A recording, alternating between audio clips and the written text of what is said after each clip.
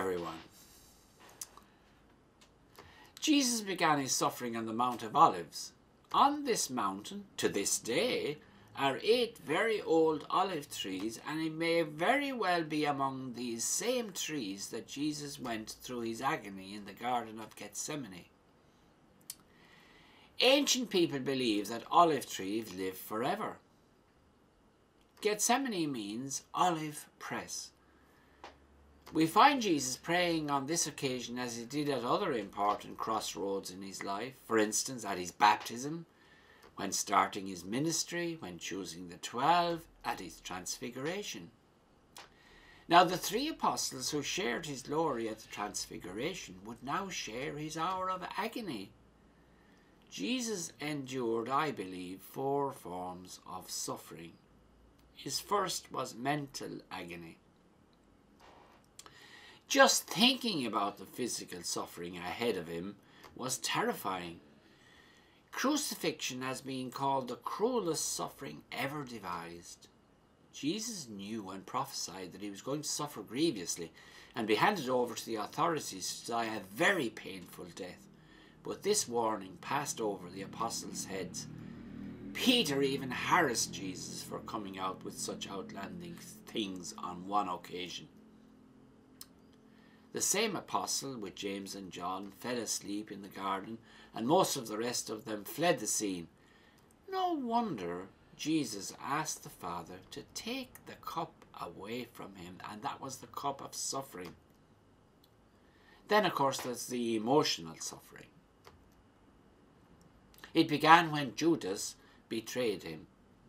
It intensified when the rest fled, leaving him alone to face the mob. Peter's denial must also have hurt Jesus.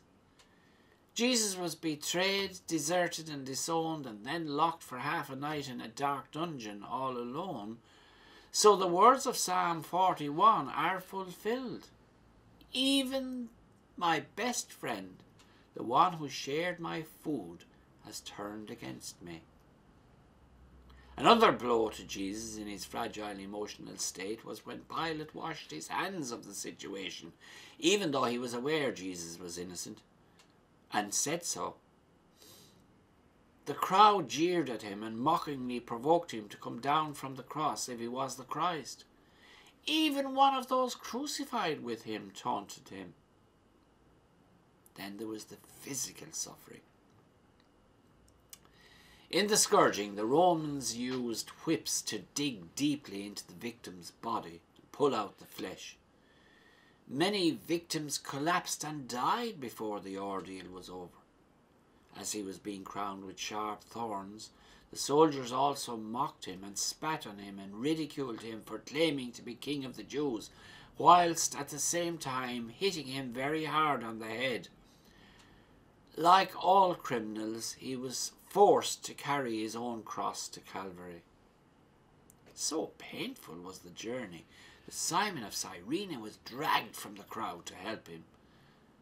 Jesus did drink the figurative cup of suffering to the dregs when the soldiers offered him a drugged drink to deaden the pain when he refused it. Even though the pain of crucifixion is excruciating, criminals could be hanging on a cross for days before they died. Many often died of hunger and thirst. Many became stark raving mad. This is the type of suffering which Jesus endured. Then, what about the spiritual suffering? Did Jesus even feel abandoned by his Father? We know the words, My God, my God, why have you forsaken me, are taken from Psalm 22. And if you pray it to the end, you will see how low spiritually Jesus must have felt. But then Jesus prays another psalm despite all the suffering and abandons himself completely into his Father's hands when he says, Father, into your hands I commend my spirit. He then gives up his spirit.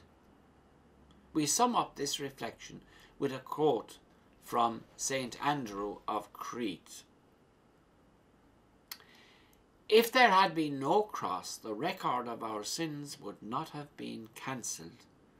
we would not have gained freedom, we would not have enjoyed the tree of life, and paradise would not have been reopened.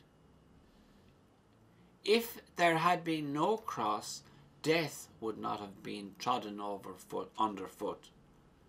On the cross, Christ won his victory, wounding the devil and conquering death forever.